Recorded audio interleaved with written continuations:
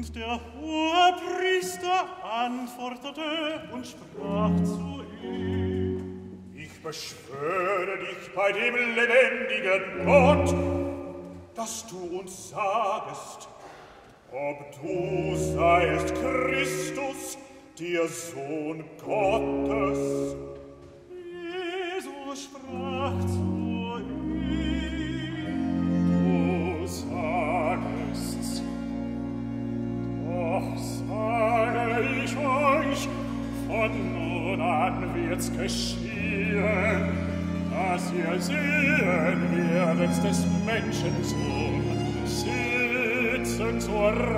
Wolken der Kraft und kommen in den Wolken des Himmels.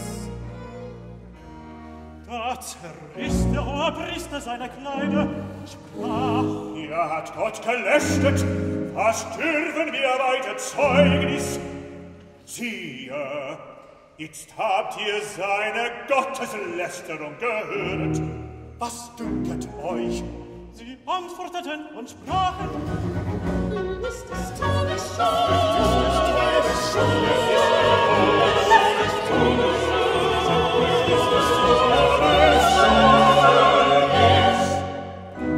Da speierten sie aus in sein Angesicht und schlugen ihn mit Fäusten. Stärker aber schlugen ihn ins Angesicht und sprachen Fessor, Fessor, Fessor, Fessor, Fessor,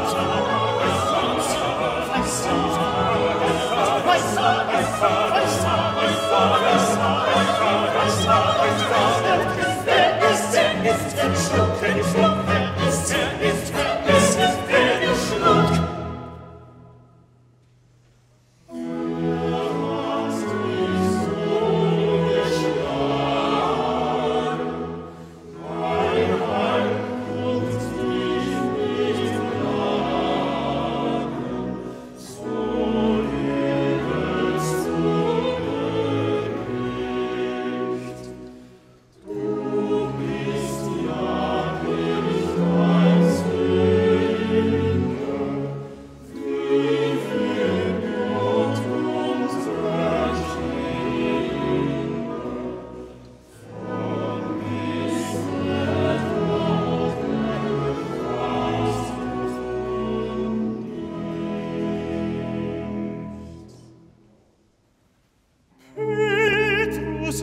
saß draußen im Palast, und es trat zu ihm eine Weib und sprach, Und du wurdest auch mit dem Jesus aus Galiläa.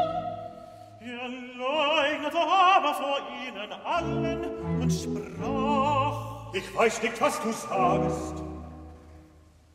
Als er aber zur Tür hinausging, Sah ihn eine andere und sprach zu denen, die da waren. Dieser war auch mit dem Jesu von Nazareth.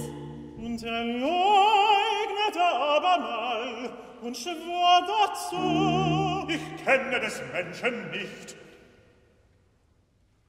Und über eine kleine Weile traten hinzu, die da stunden, und sprachen zu ihnen, Falsch, du bist noch einer von denen, du bist noch einer von denen, meine Sprache verrätst dich. Warum haben sich zu verfluchen und zu schwören? Ich kenne des Menschen nicht,